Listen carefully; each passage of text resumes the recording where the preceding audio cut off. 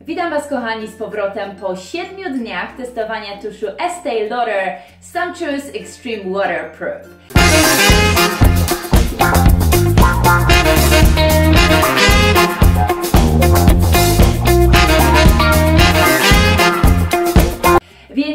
Tak jak już zauważyliście w pierwszej części tego filmiku, e, tusz nie aż tak przypadł mi do gustu po e, pierwszym wrażeniu, dlatego postanowiłam dać mu trochę czasu.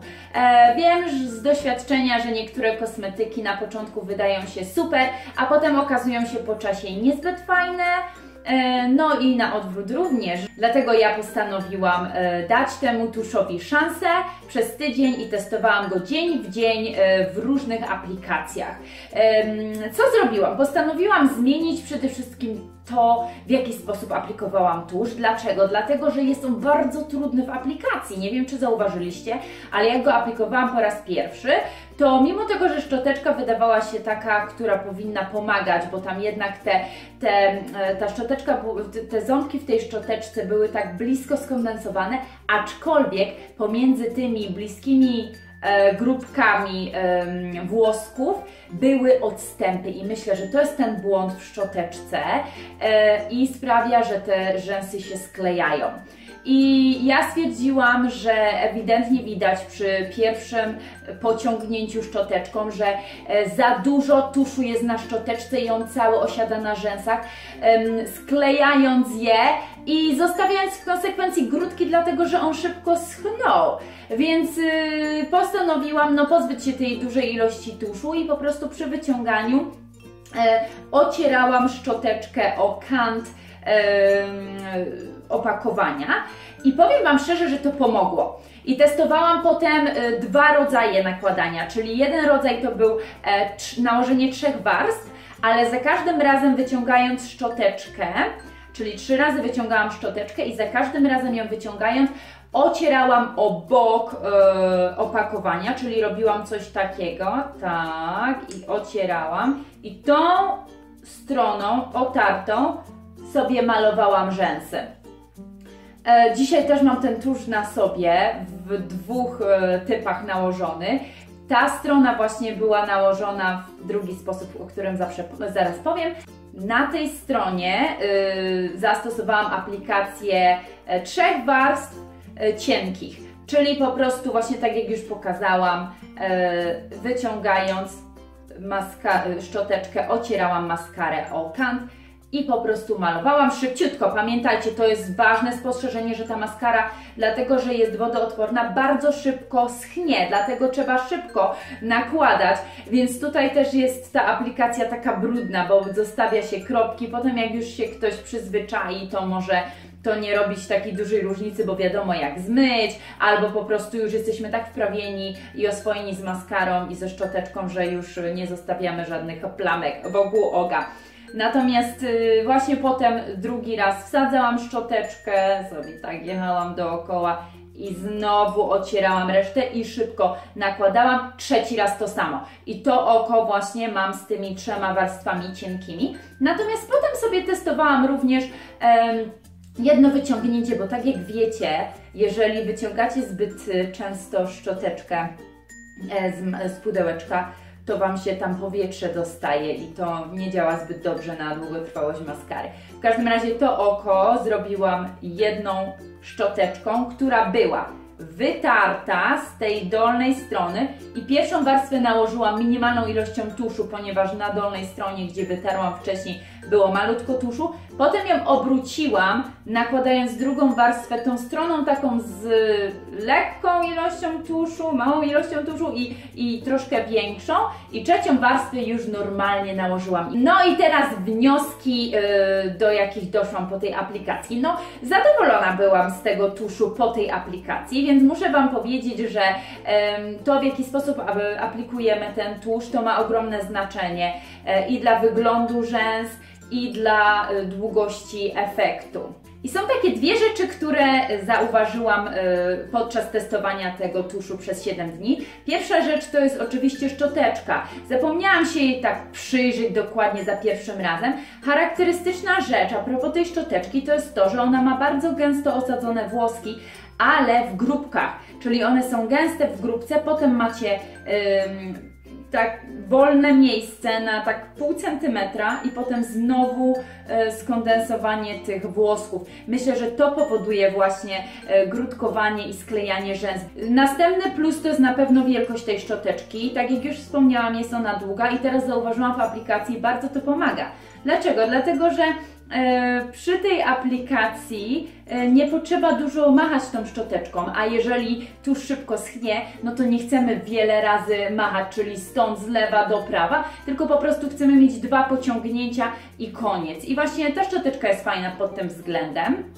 I kolejna rzecz, którą zauważyłam, to oczywiście przy usuwaniu maskary bardzo trudno się ją usuwa, natomiast jest ona możliwa do usunięcia używając normalnego jakiegoś e, olejku do makijażu e, wodoodpornego. I ważna rzecz e, w aplikacji to jest jeszcze to, żeby zaraz po aplikacji sobie użyć grzebyka do tego, żeby te rzęsy nie były sklejone, bo jednak nadmiar maskary zostanie. To nie jest taka maskara, gdzie można sobie pozwolić na to, żeby po prostu no, nie zadbać o te rzęsy po nałożeniu. Jednak trzeba usunąć nadmiar tej maskary.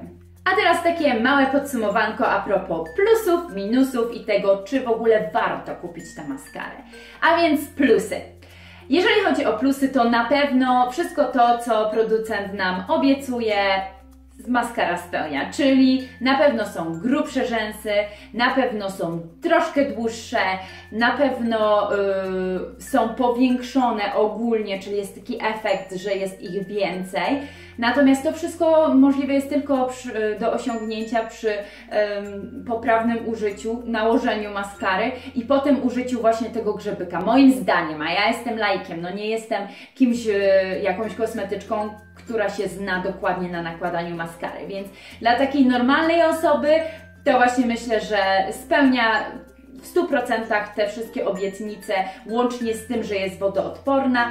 E, natomiast trzeba e, troszeczkę czasu sobie dać, żeby się nauczyć ją nakładać. Kolejnym plusikiem jest to, że długo utrzymuje efekt na rzęsa, aczkolwiek jak chcecie je mieć podkręcone i wcześniej podkręcicie e, zalotką, to one potem troszkę opadną Wam, ale troszkę, nie za dużo, e, więc powiem Wam minimalnie, naprawdę jak sobie zdjęcia porównałam to widziałam, ale, yy, ale troszeczkę. Ale teraz przejdę do minusów. Z minusów od pierwszego to na pewno aplikacja. Bardzo trudna, grudkuje się, skleja rzęsy, trzeba rozpracować co lepiej działa, jedna warstwa, dwie czy trzy, czy z wytarciem szczoteczki, czyli jest to jednak trudna aplikacja. Natomiast idzie się tego nauczyć. Kolejnym minusem jest to, no, że bardzo dużo można sobie zostawić śladów po nałożeniu maskary, które potem trzeba zetrzeć. E, trudne jest y, zmazywanie tej maskary, usuwanie jej, tak? Potem, bo trzeba parę razy przetrzeć oczy e, wodoodpornym specjalnym mleczkiem bądź też olejkiem do usuwania wodoodpornego makijażu. E, na pewno minusem jest również to, że jednak ona, ta maskara, po paru godzinach opada nam na dolną e, powiekę. Także po paru godzinach zauważycie, że tworzy Wam tutaj taką ciemną warstwę. Natomiast jest to trochę plusem. To znaczy, może powiem, jest to taki malutki minus. Dlaczego? Dlatego, że wygląda to bardzo naturalnie, jest to bardzo równomierne i mimo tego, że jest to na całej dolnej powiece, to jednak wygląda to tak, jakbyśmy sobie lekko jakimś cieniem pomalowały dolną powiekę. A jeżeli ktoś ma jakiś yy, pełny makijaż i już ma na dolnej powiece jakiś, yy, jakiś yy, cień do powiek, to nie będzie to widoczne, więc nie jest to jakiś super problem. Podsumowując, czy ta maskara jest warta kupienia? Hmm, myślę, że tak, ale to zależy, czego oczekujecie od maskary. Na pewno spełnia swoje obietnice, natomiast nie jest to ideał maskary. Ja szukam dalej ideału, będę dalej poszukiwała, ale tą będę sobie używała, bo jednak jak ktoś ma czas, żeby się pobawić, żeby te rzęsy ładnie wyglądały, to powiedzmy, e, że można sobie kupić. No na pewno jest lepsza od wielu innych, szczególnie tych, które możemy kupić normalnie w sklepie drogeryjnym. Natomiast z tych z wyższej półki myślę, że nie jest najlepsza. Także ja Wam życzę powodzenia w poszukiwaniu idealnego tuszu. Moim zdaniem ten jest fajny, ale nie jest idealny i nie wiem, czy go drugi raz kupię. Nie wiem. Powiem Wam, że jak nie znajdę lepszego, to na pewno do tego wrócę i ten będę kupowała, ale liczę na to, że znajdę jakiś lepszy. E, to już by było, moi drodzy, na tyle. E, mam nadzieję, że Wam się recenzja podobała i że Wam pomogła w tym, żeby dokonać wyboru, który jest naprawdę trudny, bo jednak nie jest to ewidentne. Ma ta maskara swoje plusy i minusy. Jeżeli nie przeszkadzają Wam minusy, to warto ją kupić. Jeżeli przeszkadzają Wam te minusy, bo te minusy to są rzeczy, na które najbardziej zwracacie uwagę, e, pod tym względem kupujecie maskarę, to to nie kupujcie. Próbujmy dalej. Ja będę dalej testowała, zapraszam na kolejne testy i do zobaczenia. Cześć!